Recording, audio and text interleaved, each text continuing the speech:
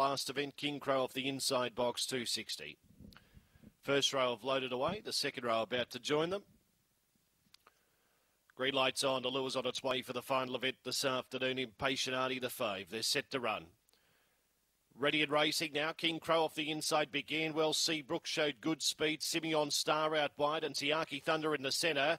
Then Cadillac Miss. Impatient Auntie's last of all starting to thread the needle but needs to get a wriggle on her. Off the back they run. King Crow railed through, took the lead from Seabrook. Now here comes Cadillac Miss. It rails through underneath the ball. Around the bend, Cadillac Miss dashed away by two or three. It's home.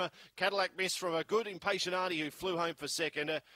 Third over the line, it's pretty close. We'll give it to King Crow just in front of Tiaki Thunder, Seabrook, Simeon Star. The time was around 23 and 40.